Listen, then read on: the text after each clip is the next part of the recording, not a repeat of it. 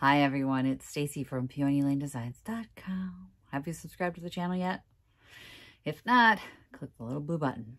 Don't forget to click the subscribe button, comment down below, like this video, and click the bell icon to be notified.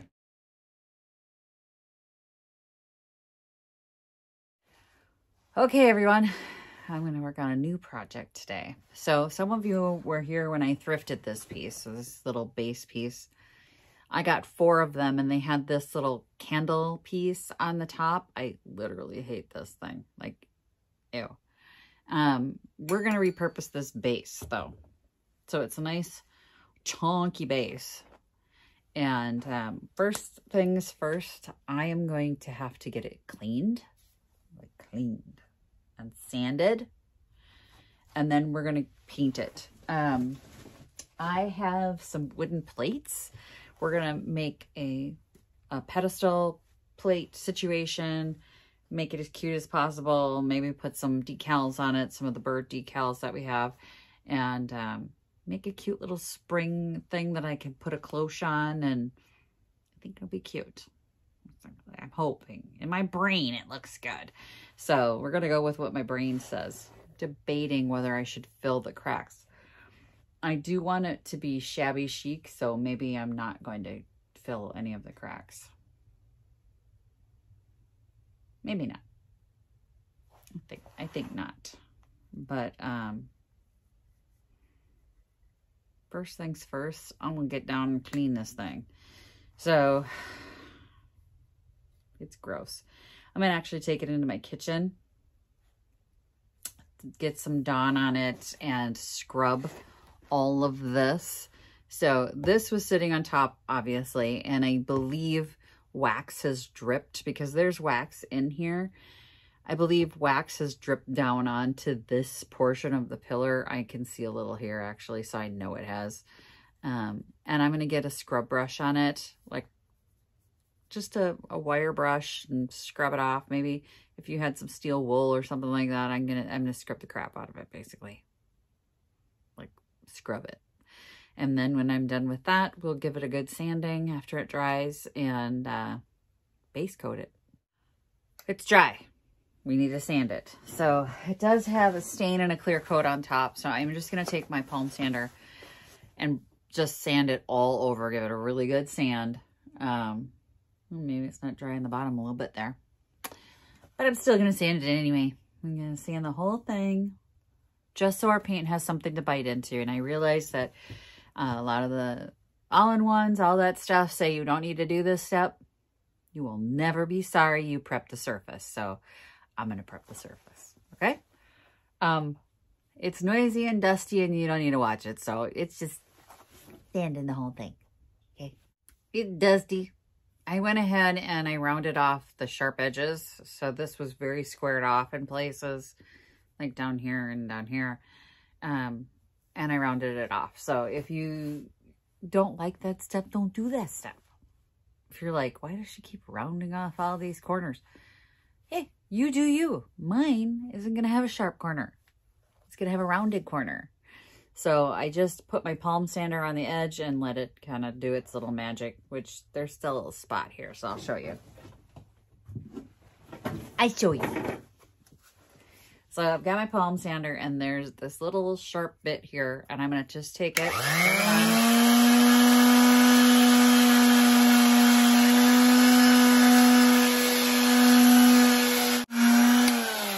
There we are. Now they're all really rounded.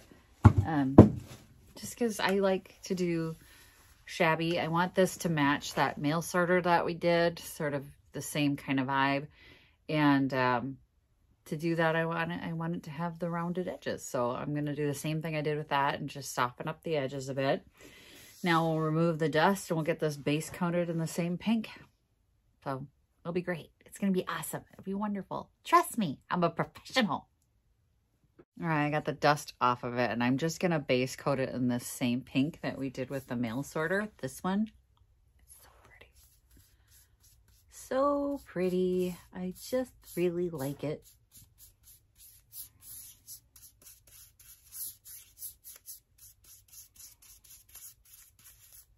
I am going to coat this whole thing in pink. Okay. So I picked up this wooden plate for a dollar. It was originally $5.99 when the first person bought it. I like to pick these up when I see them. So any kind of unfinished wood, things like that, that can be repurposed or crafted into something. I mean, a dollar as opposed to $6, I'll take it. So we're going to paint this to match the base um, in the same pink. Ooh, that's coming off nice. Hang on, hang on, hang on. So we're going to get this painted up too. And then we're going to drill a hole in the middle. This is going to be our top. We're going to put a cloche on it. It's going to be oh, ready. Yes, it is. Um, I'm going to give it a little sand though. And I think I might actually sand it by hand. It has a bit of a rough edge to it where, I mean, this is just finished processing kind of stuff. So you do have like a little feathering texture. It feels very soft when you run your hand over it. That's the grain standing up. You're going to get like paint when it when you put the paint on it, it's going to be rough and hard. So you want to uh, tamp that down a little. So I'm going to get actually a high grit. What do I have here? A one, this is a 150. That should do the trick. I think I have a 220 grit too. Mm. Hang on, let me see if I can get a higher grit. You got 220. So awesome. It says right on the back, 220. I have a 600 grit over there too, but that would just be stupid. I don't need that. That's these, the higher you go with the grit, it's considered a finishing sand. So for something like this, where we're trying to lay this down and make it as smooth as possible, we want a higher number. Um, 220 will do the trick.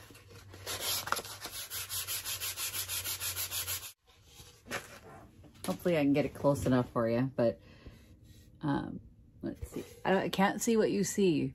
So here we've got the texture, and then over here where I just sanded it, you can see it looks smoother. That's what we want and get rid of all those little fuzzies. So I'm going to spend probably 10, 15 minutes hand sanding this whole thing, and then I'm going to get some paint on it. Okay. And now it's just really smooth.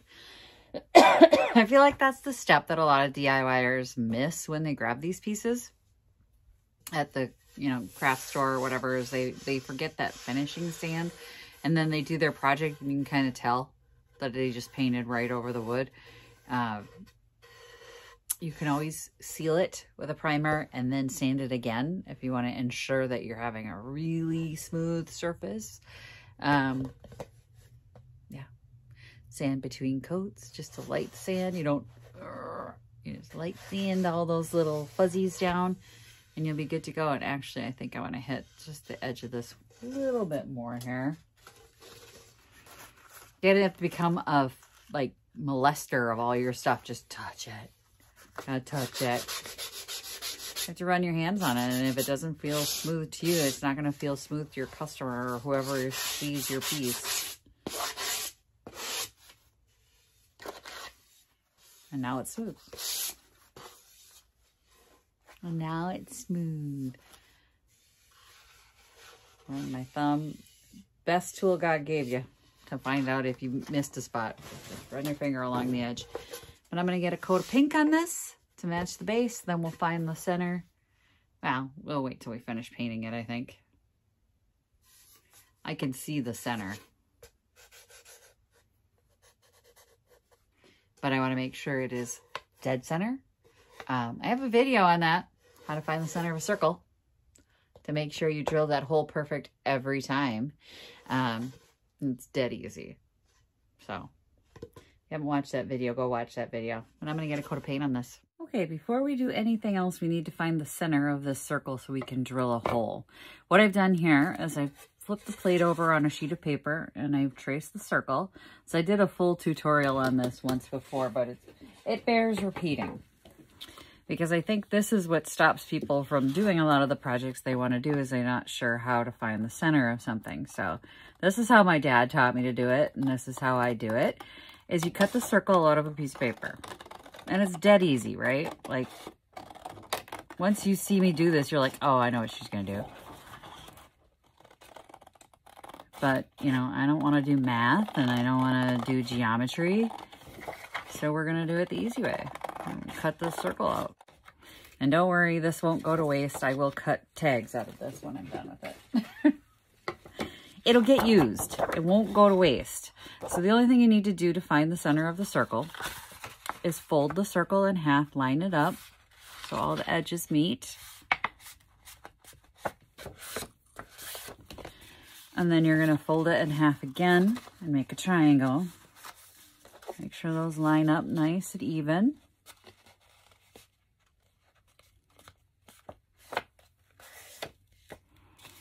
And there we go. So we've got a little fan here. And then you just cut the center. You just cut the tip off. And the hole we just made is in the dead center of your project. So we're gonna mark our plate by putting this down. Lay that on top, line that up, the edges. And then where's my pen? there it is. Lost my pen. This is the center of your project. So before I paint anymore, I'm going to drill a hole. And I am going to countersink that hole so that the screw can be in and then we'll have to fill it and paint over the top of it because I don't want the screw to show. I mean, I don't want to screw in the middle of this beautiful plate that you're going to put stuff on, right? So let me get a drill bit here.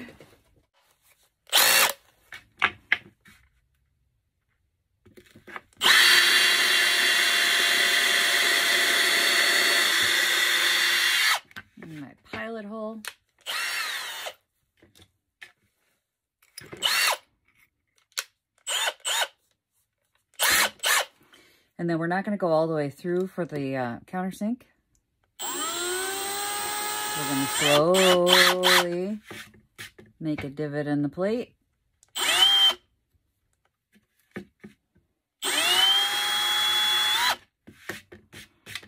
For whatever screw we're using to go in there. Let's find a screw.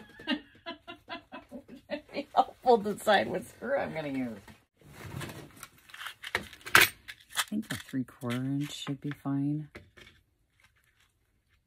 And I have to drill a little wider hole.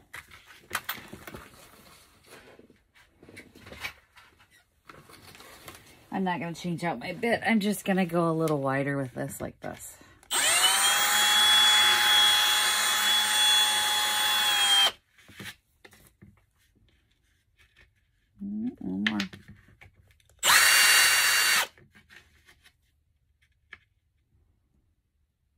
That should do the trick.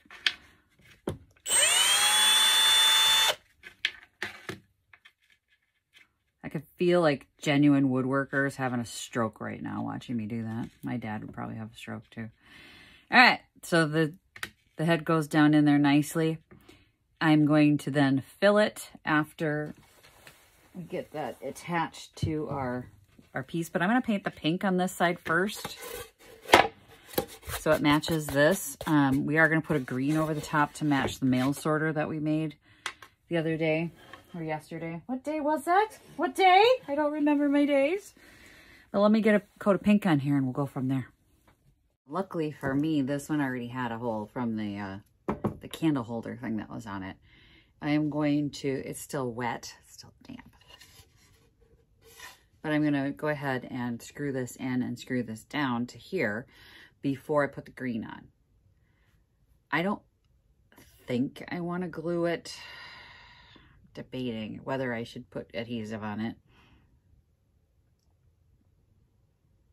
Part of me goes, what if they want to take it apart someday? And it's like, why are you worried about the next guy, right? It's like, let's just put some adhesive, make sure it's as stable as possible because I do want to put a cloche on this. And if I put a, clo a glass cloche on it, I don't want it to be at all unstable. Let me grab my power, my power grip here. So I've got some Loctite construction adhesive.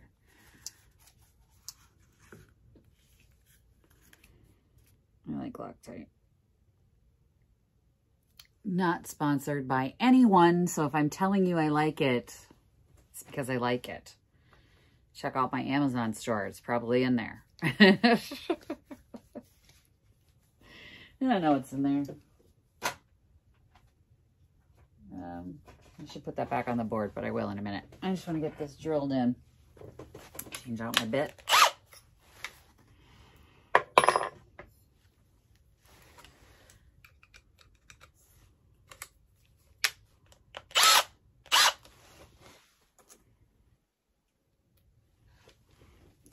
get this through here.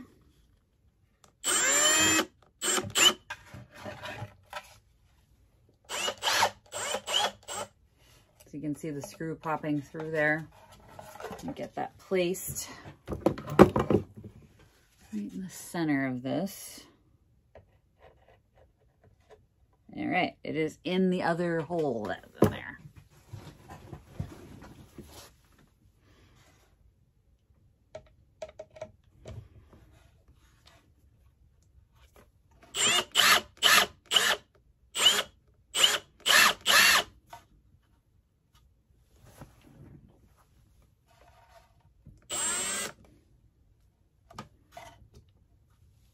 All right, and the um, screw is down in there. So I'm going to fill that as soon as this paint dries. I'm just going to use a little spackle. We're going to fill over that, the top of that, so that you won't see the indent at all. And um, yeah, and we'll go from there as far as uh, I want to put a layer of green to make it match the mail sorter thing that we made with the bird on it yesterday. And then uh, we'll decide if we're going to put any embellishments on this. If we did, it would probably be on the lip of the plate up here because you're not really going to notice it down here. And this will just be pretty the way it is. But I think for spring, for Easter, um, having like a little cloche and maybe a bunny in there and some eggs would be cute. It would be cute. I don't know. Maybe I'm wrong. I could be like way off base and it's going to look like an atrocious nightmare, but I don't think so. Sometimes in my head, I can see things and it's like, I can see how it's supposed to look. And this is one of the pieces where I was like, I want to get a plate on this and I want to get a cloche on it and I want to put Easter stuff in it. Maybe a nest would be nice. Some eggs.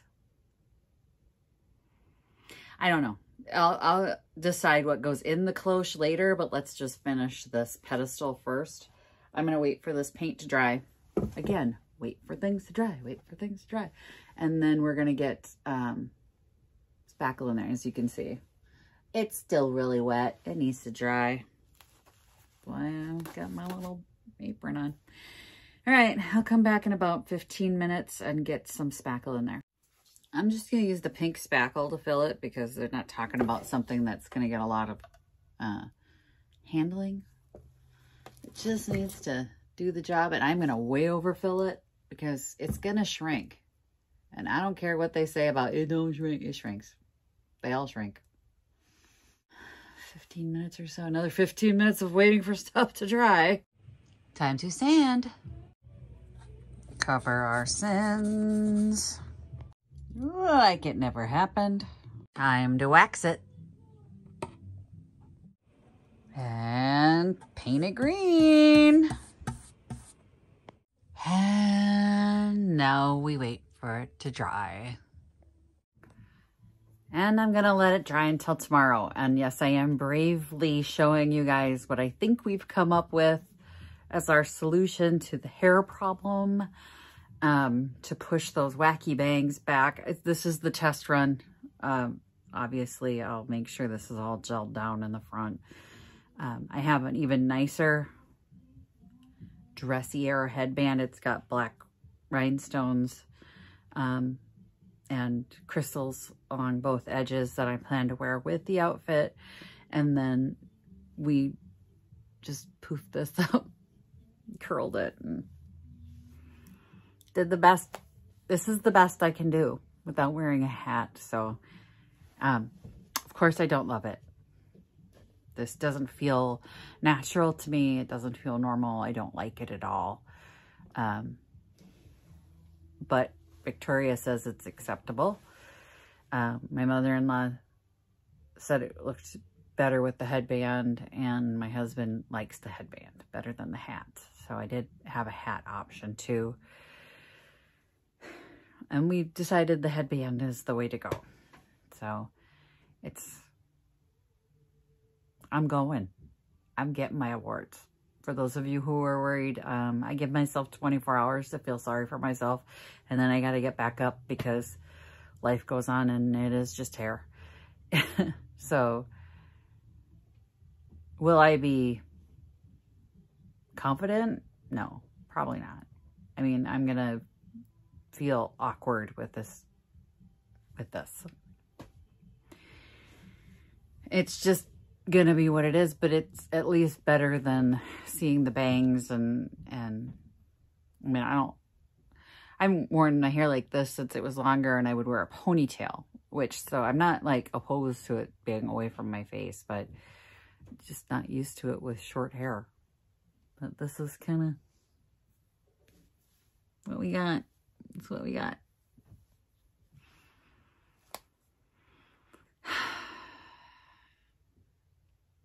Thursday. It's Thursday. And I'm going to hold my head up. And I'm going to go up and I'm going to get that award. And I'm going to be angry. I'm not going to cry anymore. really want to. I'm not going to.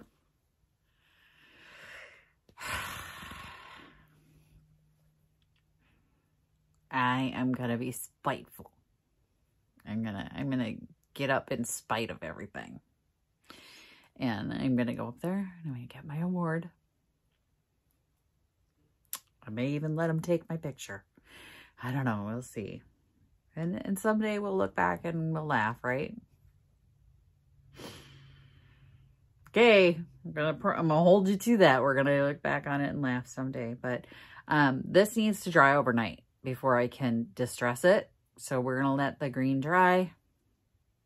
I should probably do my nails for this thing, not like this. I should probably actually use nail polish instead of latex paint. I may have to stop painting. I have a client that needs me to paint a table for her though. So I do have another project that I have to get in here. So I need to get this done so I can make room. And um, it's just, I'm going to be a mess. I mean, I'm going to have to figure out something for the nails. But thanks for watching and God bless all of you for the love and support that you showed me. Everybody who reached out to me with suggestions. You know, I I appreciate it. I really do. Um, because we've all been there. I think we've all been there. We've all been there. It was just my turn. My turn.